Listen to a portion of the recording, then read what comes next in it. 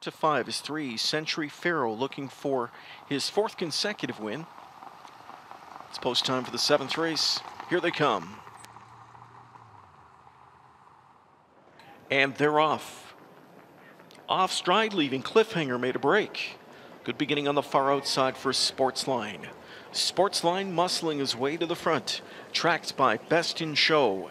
Century Farroh at the inside is up close early from in third. He'll grab that pocket spot, wanting nothing less than a two-hole trip early. Feeling it's not going to sit either. Century Farroh already right line. He found clearance and he's pointed to the lead, 26 and 1, and he'll get the top. Sportsline back into second best in show third. Bronx Seelster fourth, inside fifth, Stag Party. Sixth at the rail, his stablemate better up. Swinging out from in seventh goes B. Stoney getting underway. Then it's back to No Ordinary Man, Mock David, and after the break in stride, Cliffhanger is far back. Field approaching the midway point. With that lead, it's Century Farroh. Second at the inside, Sportsline. Best in show third. Bronx Seelster first up out of fourth now, half and 55. Second quarter, 28 and 4. Century Farroh with the lead. Bronx Seelster coming first up. Sportsline in the pocket spot right there on cover. Moving up as Stag Party into fourth now. Fifth buried at the rail is Best in Show. Sixth outside, B Stoney. Then better up as seventh. Nailed at the inside. Further back to No Ordinary Man. Gapping four more lengths. Mock David as they come to three quarters next. The leader remains Century Farroh. Outside Bronx Seelster.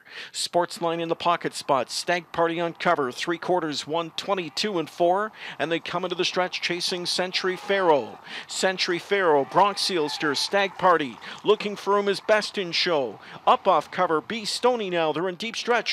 Century Farroh's still there. Bronx Seelster on the outside. No, quit in him. Wailed wide. Stag Party in at the rail. Best in show. Four cross finish. Century Farroh digs in. Century Farroh won it by a neck.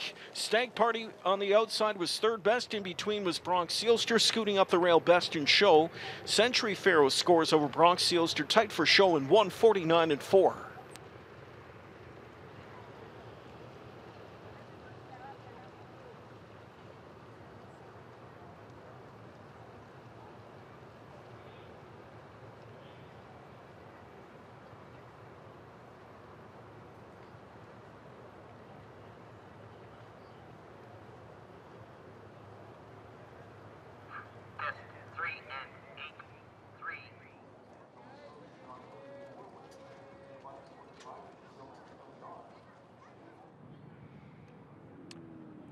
Well, Doc, as the old saying goes, the good ones just find a way. And that's exactly what Century Farroh did here tonight. Uh, I'm running out of questions to ask you when this guy wins. He's just been so good this year. Yeah, he sure has. And uh, when I warmed him up tonight, I knew he was good. Even though he hasn't raced for a month, which was well documented in the program right up there, um, I actually gave him 10 days right off, just turned him out, but we fed him full feed and he put some weight on. And if, it seemed like he grew a little bit, filled out a little bit more. So, because I was looking at him tonight in the paddock, and he sure looked different horse. Um, I figured he might be a little bit short on the end, and, and he was, but he still fought them off. I all I did, I trained him a mile and 51 at the farm last Wednesday at Classy Lane, and uh, that's all he needed. So, it'll be a good tightener for next week. We're heading to Northfield next week for the Milstein. Watching the replay just moments ago, and uh, even watching it live, I got the feeling, you know what? It looked like they were getting to him, but I don't know. I kind of feel like the, if they went around again, they still weren't going to beat him. Yeah, Well, I thought they were going to get to him there, but no, he just he just fights them off. He's a real tough guy, this guy, and so uh, we're very pleased for sure this year. We're lucky enough to have him on our side of the border, the U.S. faithful watching him via television, but they're going to get a closer look at him coming up real soon.